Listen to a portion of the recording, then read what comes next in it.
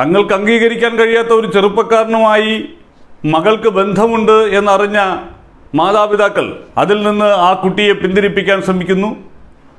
അത് നടക്കാതെ വന്നപ്പോൾ മകളെ വധിച്ചതിനു ശേഷം ആ അച്ഛൻ ആത്മഹത്യ ചെയ്യുന്നു.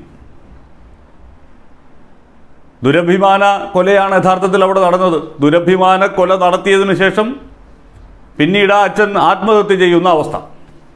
അതങ്ങനെ തന്നെയാണ് വാർത്തയായി കേരളീയ സമൂഹത്തിൽ നിറയേണ്ടതും.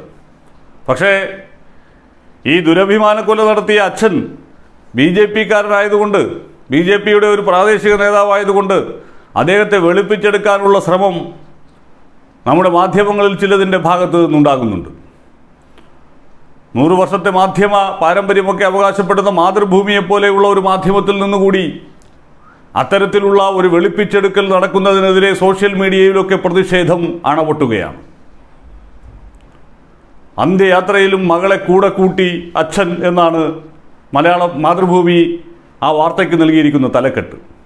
നാട് വലിയ ആവേശത്തോടുകൂടി ആ അച്ഛന് വിട നൽകിയിരിക്കുന്നു. അവിടേക്ക് ആയിരക്കണക്കിന് ആളുകൾ തടിച്ചുകൂടി എന്നൊക്കെയുള്ള വലിയ പൊലിപ്പിക്കലോടുകൂടി ആ വാർത്തയെ മഹത്വവൽക്കരിക്കാനുള്ള ഒരു ശ്രമം മാതൃഭൂമിയുടെ ഭാഗത്ത് നിന്ന് ഉണ്ടായിരിക്കുന്നു.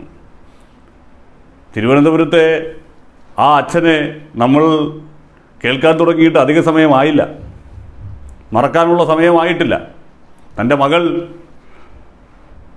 ഒരുപാട് പ്രശ്നങ്ങളുള്ള ഒരു ചെറുപ്പക്കാരനുമായി വിവാഹിതനായ ഒരു ചെറുപ്പക്കാരനുമായി ബന്ധത്തിലാണ് എന്നറിഞ്ഞ് അത് ഇല്ലാതാക്കുന്നതിന് വേണ്ടി ശ്രമം നടത്തിയ ഒരച്ഛൻ.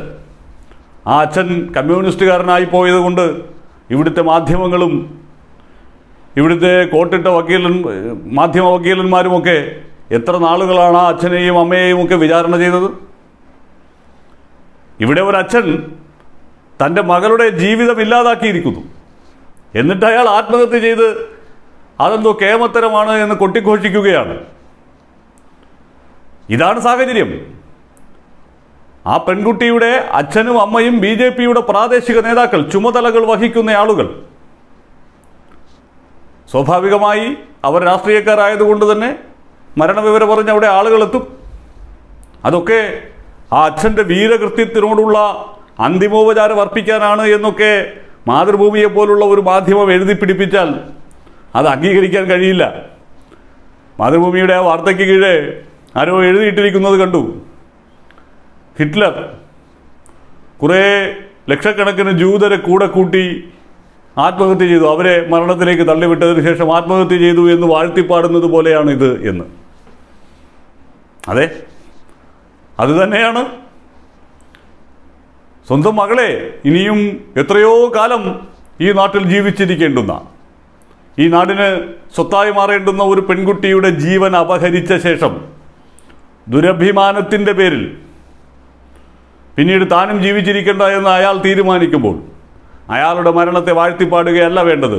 അതൊരു ദുരഭിമാനക്കൊലയാണെന്നും ആ ദുരഭിമാനക്കൊലയുടെ നാണക്കേടിൽ നിന്ന് രക്ഷപ്പെടാനുള്ള ഭീരുത്വം നിറഞ്ഞ ആത്മഹത്യയാണ് അയാൾ നടത്തിയത് എന്നും പറയാനാണ് നമ്മുടെ മാധ്യമങ്ങൾ തയ്യാറാകേണ്ടിയിരുന്നത്.